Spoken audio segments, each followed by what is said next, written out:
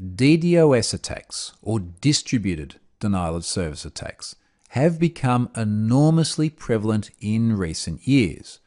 Just before recording this, I thought I'd go and grab some headlines just to show the sort of thing that's going on at the moment. And the headlines that you see appearing on the screen now have all been from just the last few weeks. I wasn't even aware of many of these. They simply weren't significant enough in my news feed to even stand out. I'm sure that many of these weren't even on the front page. I'm sure that many of these never even got much airtime.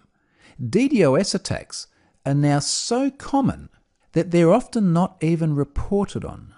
Now, of course, the really large ones, or the ones that do have serious impact on the target, will make the headlines. But there are a huge number of DDoS attacks that are either small in nature, have very low impact, so they might be very short lived, or they impact a lower value target that simply isn't even newsworthy. But before we go on, let's just take a quick look at precisely what a DDoS attack is.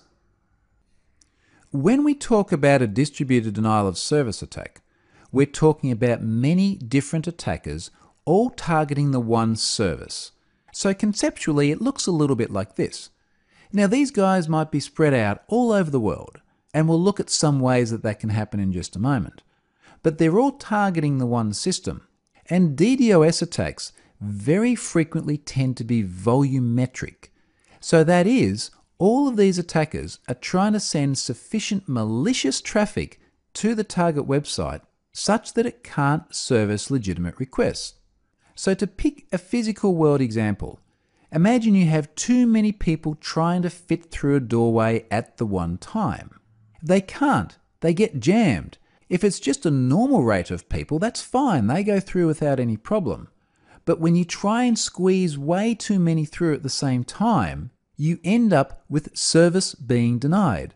The legitimate people that want to use the doorway can't get through because there's too many other people trying to get through at the same time. And in very simplistic terms, that tends to be what happens in a DDoS attack. Get enough people trying to jam packets through to a web server at the same time, and it's going to struggle to handle the legitimate ones. These attacks also often tend to be globally distributed. They come from all over the world. And that's one of the things that can actually make them extremely difficult to defend against. If those attacks originate from foreign countries, tracking down the perpetrators and indeed stopping the attacks can be extremely difficult.